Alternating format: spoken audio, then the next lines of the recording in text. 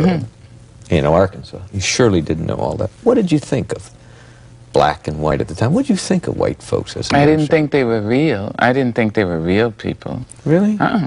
I thought they were white folks. What? I thought they were white folks. Well, I mean, what do you mean? You didn't think they're real? You don't think they had arms and legs? And... Oh no, they had arms and legs, but they didn't have innards like other people. I I thought if you put your hand on, on a white person, it would go right through. No. Just go, I promise you.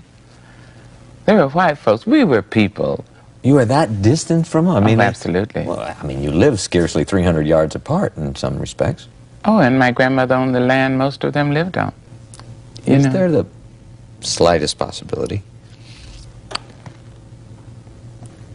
The white folks, myself, can truly understand the black experience. Oh, I, I think to the degree that it's necessary to understand. Well, you once said that black folks should play white folks in, in plays and what, because you've been studying Yes. white folks for hundreds of years. Yes.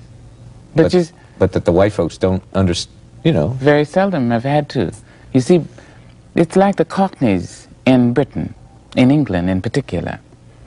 The aristocrats and the upper class and the upper middle class um, controlled so much of life that the Cockney developed a way of watching that person and can imitate him to a fine degree. One has only to see the current, look at Finney or some of the current um, English actors who can imitate the upper class and upper middle class to a degree so finely honed that they can't even, they can put it over.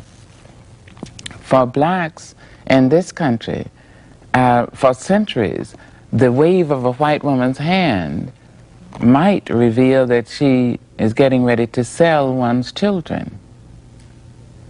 Or a frown on a white man's face could mean in a moment you're about to be flogged. So people learn to watch